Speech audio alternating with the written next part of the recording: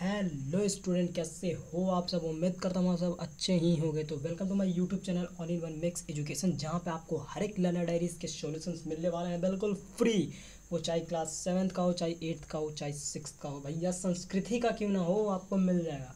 इसी वीडियो में आपको मिलने वाला है क्लास एट्थ संस्कृत रुचिरा का सेकेंड भाग है, जिसमें कि आपको मिल जाएँगे षष्ठ, यानी कि छठा पाठ, यानी कि गृह शून्य सूता बिना। यानी कि घर सुना है एक बेटी के बिना। या फिर मतलब कि शून्य सूता, यानी कि घर जो है वो शून्य शून्य है किसके बिना? संतान के बिना।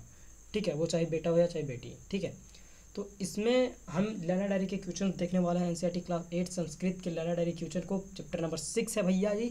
तो आइए देख लेते हैं, इसका फ़र्स्ट लर्नर डायरी क्वेश्चन क्या है हमारा? क्वेश्चन क्या बोल रहा है भैया? हम भी तो देखें, क्या बोल रहा है? अरे भाई मुझे भी दिखा यार। तो इसमें फ़र्स्ट बोल रहा है अस्मीना पाठे मम कीम जानतम। यानी कि मैंने इस पाठ से क्या सीखा? ठीक है? अब आपसे ऐसे ही कोई पूछ देगा कि भैया आपने इस, इस पाठ को पढ़ लिया है? तो आप बोलेगे पढ़ा तो नहीं पर इसके लर्नर डायरी क्वेश्चन कर रहा हूँ। क्योंकि ऑल इन वन मिक्स वाले भैया तो बता रहे थे कि हाँ आपको कुछ भी मिल जाएगा। आप बस लिख दो आपको मार्क्स मिल जाएँगे। तो लिखने से तो नहीं मिलेंगे। आपको जब हर एक टॉपिक समझ जाओगे, तभी तो आप लिख पाओगे अच्छे से। अगर आपको टॉपिक ही क्लियर नहीं है तो आप कहाँ से लिखोगे? ठीक है? तो चलिए देख लेते हैं। तो अस्मीना पाठ्यता अज्ञातवानम यत अस्माभि कदापि गृहपात ना करितव्यम। ये जो चैप्टर है, वो कहीं ना कहीं आप सबके जीवन से ही रिलेटेड है। ठीक है? मैं चाहूँगा आप इसे मतलब कि सीरियस लेके ही मतलब कि सोचें। ठीक है? तो मैंने लिखा है यानी कि इसका मतलब तो यही हुआ कि मुझे इस पाठ में, मैंने इस पाठ से क्या सीखा है? तो मैंने लिखा है, मुझे इस पाठ में, मैंने इस पाठ से यह सीखा कि हमें कभी भी गृहपात नहीं कराना चाहिए। क्या, चाहे कैसी भी सिचुएशन क्यों ना आ जाए स्टूडेंट्स हमें कभी भी गृहपात नहीं कराना है, क्योंकि वह कहीं ना कहीं पाप है। फिर क्या हमारा यहाँ पे? अस्मीना पाठे कानी कस्तानी आसन। यानी कि आपको इस पाठ में क्या कठिनाइयाँ आई? तो मैंने क्या लिखा है? मया एतानी कस्तानी अस्मान पाठते प्रातानय राकेशाय पत्नी गृहपात कृतु प्रार्थयुति मया अतीव कष्टम ज्ञानतम।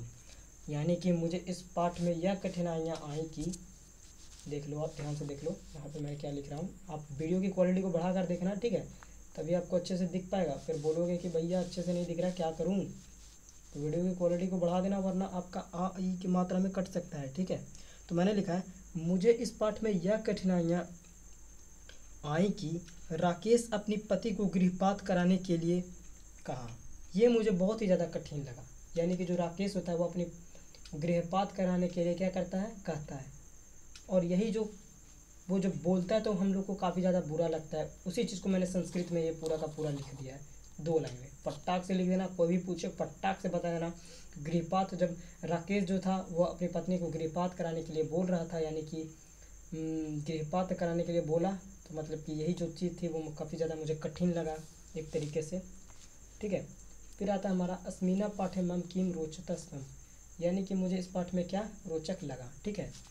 तो ये देख लेते हैं क्या रोचक लगा है।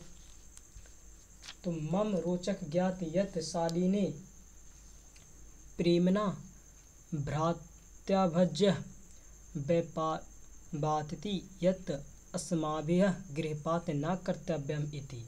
यानी कि इसका मतलब आपका ये हुआ कि मुझे इस पाठ में ये रोचक लगा कि शालिनी ने अपनी भैया को प्यार से समझाया कि हमें गृहपात नहीं कराना चाहिए। यानी कि मुझे इस पाठ में यह रोचक लगा कि जो सानली थी, वो प्रेम से अपने भ्रातर ब्रिज भ्रातर व्रय, यानी अपने भाई को प्यार से समझाती है। तो गृहपात जो कराना है, वो काफ़ी गलत काम है। आप इसे ना करें। ठीक है, ये गलत काम है। ठीक है? तो अगर आप कोई भी चीज़ को अगर प्यार से समझाते हो तो वो समझ जाते हैं। ठीक है? जैसे कि अगर कोई भी लड़ाई हो गया, अगर आप उसे प्यार से समझाते हैं तो वो समझ जाएँगे। ठीक है?